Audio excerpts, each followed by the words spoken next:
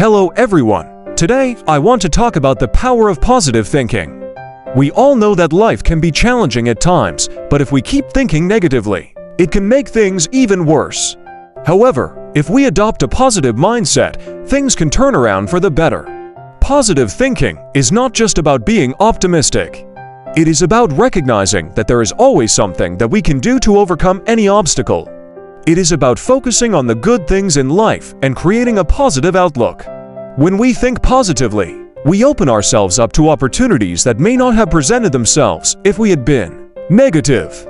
So, how can we cultivate a positive mindset? Here are a few tips. 1. Practice gratitude. Take a few minutes each day to reflect on the things you are grateful for. This can help shift your focus from what you lack to what you have. 2. Surround yourself with positivity. Surround yourself with people who uplift and inspire you. Avoid negative people who bring you down. 3. Create a positive affirmation. Create a positive affirmation that you say to yourself daily. This can be a motivational quote or a simple statement that helps you stay positive.